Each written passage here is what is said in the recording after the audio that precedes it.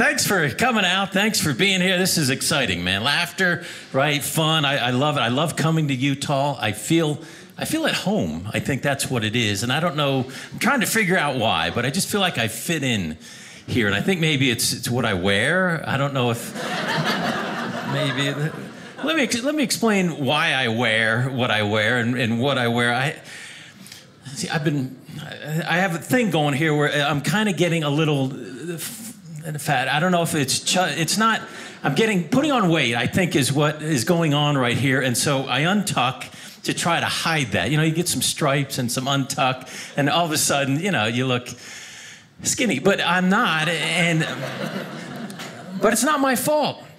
That's the thing. It's not my fault. I had uh, hernia surgery recently, and uh, the doctor told me that uh, it's not my fault. It's not from you know, eating hamburgers and, and, nachos and French fries and ice cream and, and, pizza and chicken fingers and chicken nuggets and chip and dip and candy bars and uh, sundaes and uh, fish sticks and French fries and you know, from laying around watching TV and, and watching movies and playing video games. It's you know, it's not it's it's not from eating you know a lot of sundaes and and and frosted flakes and cereals and ho hos and and laying around at my neighbor's pool while they're out of town. It's not because of that. It's it's not it's not me. It's the hernia surgery. So I, I've gotten some post-operative swelling. That's what he called it. It's medical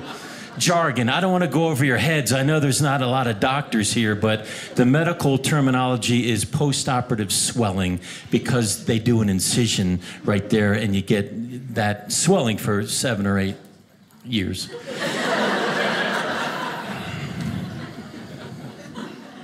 Looking around, a lot of hernia surgeries here tonight, too, I've noticed. That's. Whoa. Y'all do a lot of heavy lifting around here? Is that. All right. well, it's not our fault. I do. I think I do. I fit in though, and uh, I, I, again, I, you know, I'm trying to figure out because see, I wear this. These are not my pants, but I wear this every time that I perform comedy, and I perform in big cities around the country like New York and Los Angeles and Chicago and Dallas and Springville. So when I go. I always get people looking at me and they're like, "Oh, are you an accountant? Will you do my taxes? You're an accountant, right? You look like an accountant. Are you an accountant?" I'm like, "No, uh, you're a narc. Are you a narc? This guy, he must be a narc. I don't even know what that means, but they whisper it, so I think it's secretive. You're a narc. Are you a narc? I don't have something to do with sleeping, but they're like, "Are you a middle school science teacher? Is that what you are? A middle school science teacher? Hey, a Republican. Hey, are you a Republican? You look." I'm like, I, I don't know. I'm just trying to." Trying to be comfortable. That's really all I'm doing. So that's why I like coming here because people are like, "Oh, you're from Utah," so so that, that comforts me. It really does.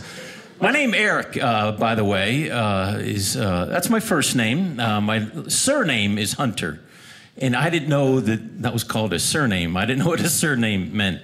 And uh, one time, this guy goes, "Hey, what's your name?" I said, "Eric," and he goes, "What's your surname?" And I go, "Sir Eric."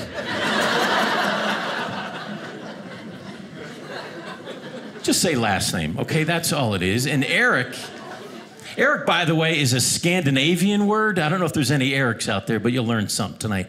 Eric is a Scandinavian word. It means brave, all powerful one. You ever notice that names always mean something good, don't they? They never mean anything bad, right? Like you never hear anyone go, uh, My name? It's a uh, Latin word. It means urinary tract infection. Dad named me that.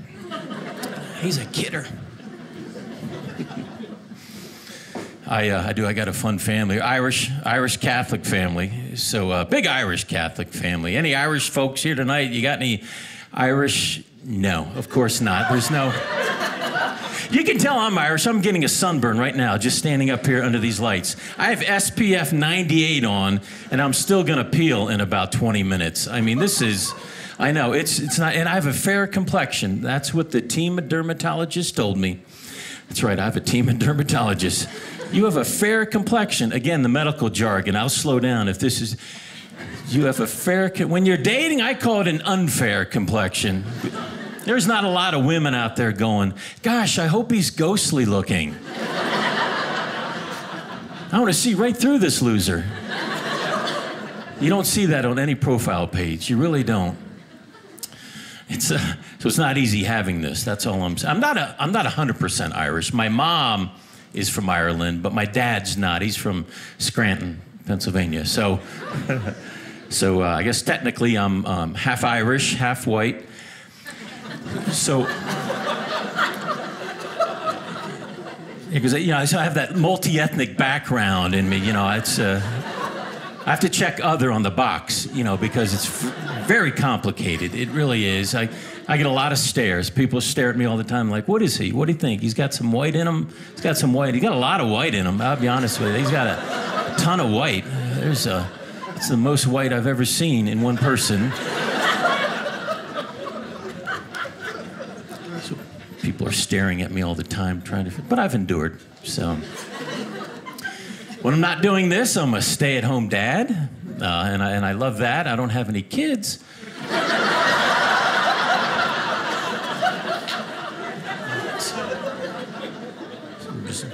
technically, I'm a stay at home, I guess. Uh, officially, is when I'm lazy. That's my point. I'm, I am very lazy. But I like being lazy. I think being lazy is good. You, you know, you avoid getting hurt.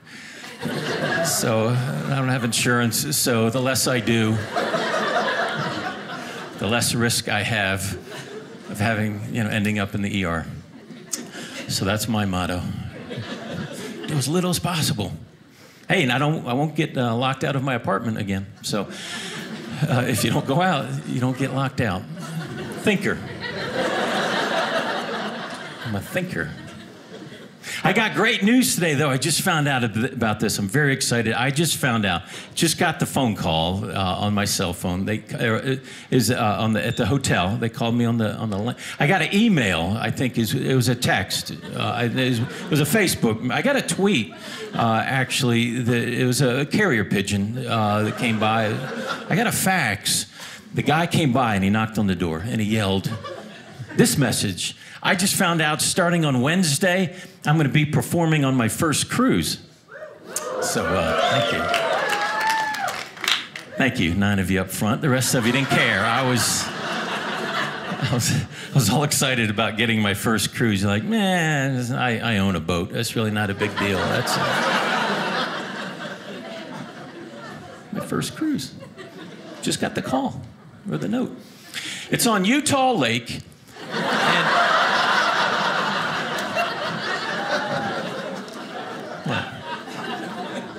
They don't start you out on the big ships, folks. Come on. You got to pay your dues. So you start out on your buddy's pontoon boat, and then eventually you work your way up to the big ships that have toilets that overflow. Everyone gets sick, and then it tips over. That's where I'll be in many years. As a child, I was a bedwetter. That's, uh, not my bed, my brother's bed. I would sneak into his room, just take a look. And then I would sneak back into my room. I was very crafty as a youngster. I really was. Good for me. I was. He would get in trouble. I do have a fun family. I do. I love my parents to death. They've been married. They just celebrated their 47th wedding anniversary. Uh, so that's, uh, yeah, I'll tell them. Thank you. 47 years. That's a long time to be married in this day and age. So that's great. I love that they've done that. And I just celebrated my 49th birthday. So uh, we had a. We had a, had a big party. A lot of celebrating going on. My parents are great. They have a they have a rule. Here's their rule of thumb. Here's how they've been married as long as they have. They have a something they do all the time, and they make a point of it. No matter how many arguments they've gotten into with each other throughout the day, no matter how many fights they may have had throughout the day, they always make a point to do something nice for the other one before they go off to their beds.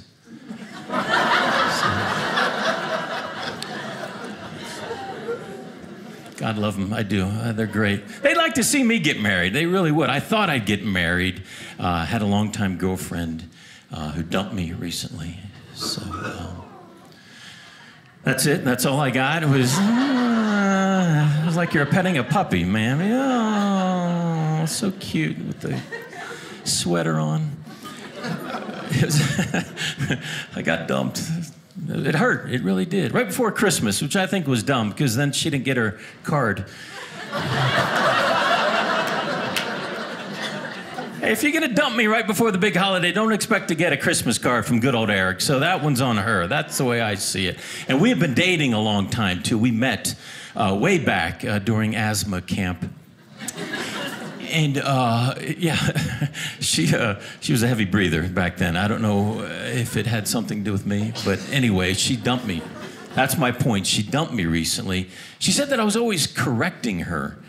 And I didn't realize that was a, a thing. I didn't realize I was doing that. But, she, you know, you're always correct. So, anyhow, she'd had enough, comes over to my house to break up with me. She goes, Eddie, we need to talk. I go, My name's Eric.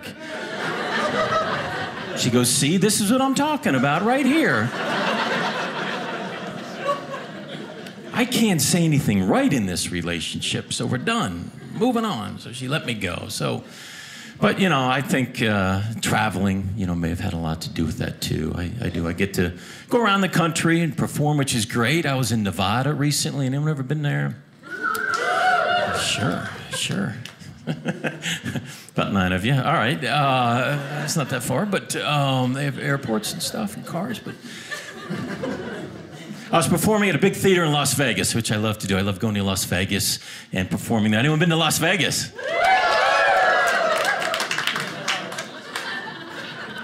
It's only more people have been to Las Vegas on that particular poll there than have been to Nevada. Did it sound that way? You guys, is that? So, did I hear that right? That was weird. All right, no more geography. That was my fault. I don't know if there's a lot of uh, single women here tonight, but I'm, I'm, I'm, trying to trying to start dating again because you know it's tough getting back to. In my last relationship, we just we grew apart. We didn't have a whole lot in common, so I'm looking for you know a woman maybe with similar interests, similar tastes, and instead of doing all the internet stuff, I just like to sort of speak my profile page, I guess is the best way. You know, talk to women, you know, because that doesn't happen a lot. So, I, I, you know, I love to cook and clean, and I love to lose arguments.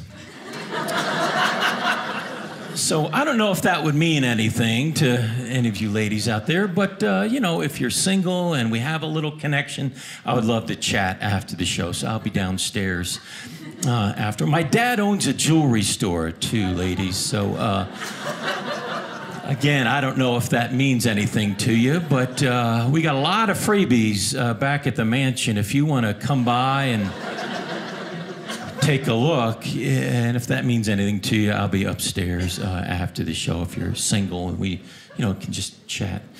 My brother owns a Haagen-Dazs franchise as well, so again, I don't know. I hope, you know, maybe we have a little something, a bond. That's really what I'm hoping for. So anyway, I'll be outside there by the parking meter, there where the bike is, the chain there by the sidewalk. You know, you see that sign there, the, where the red light is, and there's, you know, where the mountain is. And I just won the lottery uh, as well, ladies. So I don't know if you're into money, but uh, I've read where you are. So again, I'm hoping that you know we might have a little something. I run a little puppy retreat uh, at my place as well, ladies. I don't know if you're into puppies, but we nurse them back to health and then find homes for them. So that's kind of a journey for me, ladies. So you know, bunch of kittens too, brand new litter. Eyes haven't even opened yet. They really are cute. So I hope that means something to you, ladies, because it means a lot to me. It really does. So I'll be over there by that table after the show. I'd love to put like 20 pillows on my bed, too, ladies. Oh, I love that. Isn't that great? Just stack them all up so we can take them all off and put them all back on and take them all off and put them all back on and take them all off and put them every night take them all off. Every morning put them all back. I love that ladies. That's my move right there you know, if we have a little something there, I would love to chat. So I'll be backstage after this. Put pillows all over the couch so we can't even sit down. Oh, you should see my house. It's my apartment. Is uh, my duplex is that's we can. So I'm hoping that. I got a lot of candles at my house too. I don't know if you like candles, but I light them all the time. Wake up early in the morning, just light all the candles. Put them around the hot tub. So, you know, you just sit in the hot tub and it's very soothing. It's very romantic. Put in the oils and spices and vinegars. So, if that means anything to you, I'll be at uh, Pier 1 Imports tomorrow. Maybe you know, if that means anything to you, we can. I'll be there on Sunday as well because there's nothing on TV on Sunday, so I'll be hanging out at Pier One Imports all day. There's nothing on TV on Sunday. I hate closet space, though. I don't want any closet space, ladies. Come, please.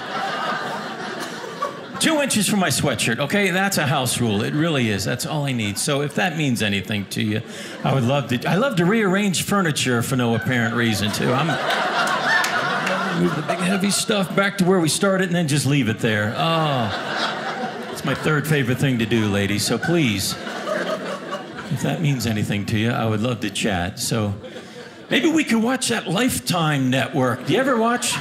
Do you get Lifetime? But please don't start clicking around to all the different channels, okay? I hate when they're always flicking the clicker every few seconds. Please put the clicker down and let's watch one show in its entirety, okay? That's unless HGTV is on, then I gotta click over, right? Because if I miss the big reveal, oh, you don't even want to be around me.